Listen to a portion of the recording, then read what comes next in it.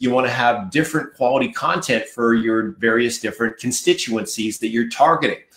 And you want to be able to send high quality content consistently, not willy nilly, not flying by the seat of your pants, thinking about it whenever you get around to it, doing it whenever you are sufficiently motivated.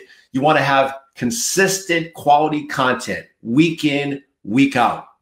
And so when it comes to email, we recommend bite sized morsels, sending once a week by email with a tantalizing little tidbit that gets them compelled and curiosity evoked to want to click the link to watch the video. Okay. So don't give them a sip of the fire hose. Don't give them a data dump. Don't show up and throw up with too much information because it'll just give them the gag reflex. You just want to give them just enough to want more. Right kind of like the ET effect with the Reese's Pieces. You remember that? Or there's just one little Reese's Pieces next to another Reese's Pieces in a line. And so he just munched on the first one. Then he moved over to the second one and he just waddled to the next, to the next, to the next. Next thing you know, he's coming out the door. So you want to do the same thing here. Just give them a little tidbit to have that hunger for more.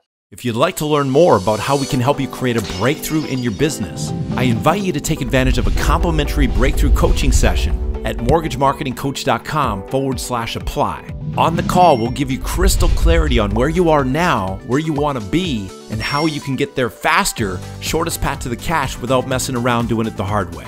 And if we can help you create that breakthrough, by all means, we will show you how. If not, frankly, we'll be the very first people to advise you to pass on our services. But either way, our goal for you is you leave the call with massive value and massive clarity. So go ahead and book a call at mortgagemarketingcoach.com forward slash apply. Again, that's mortgagemarketingcoach.com forward slash apply.